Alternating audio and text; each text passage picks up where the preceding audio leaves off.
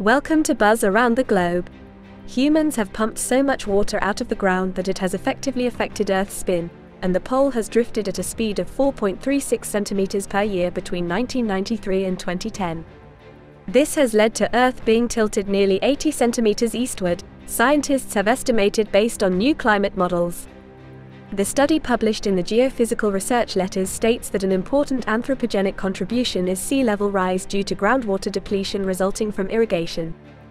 Earth's pole has drifted towards 64.16 degrees east at a speed of 4.36 centimeters per year during 1993 to 2010 due to groundwater depletion and resulting sea level rise, the paper read. The international team of researchers estimated that humans have pumped out 2,150 gigatons of groundwater, equivalent to more than 0.24 inches of sea level rise, though they acknowledge that estimating the exact figure is difficult.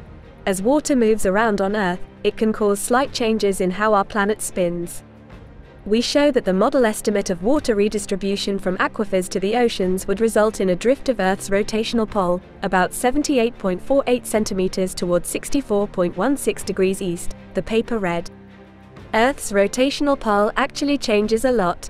Our study shows that among climate-related causes, the redistribution of groundwater actually has the largest impact on the drift of the rotational pole. Ki-Won Seo, a geophysicist at Seoul National University who led the study, said in a statement released by the American Geophysical Union. Researchers maintained that the location of the aquifers, groundwater, also matters for Earth's spin to change.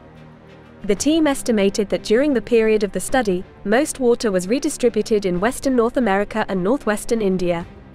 While the slight drifting of the pole will not have an impact on the seasons, researchers caution that over a longer geologic time period, it could have an impact on the climate.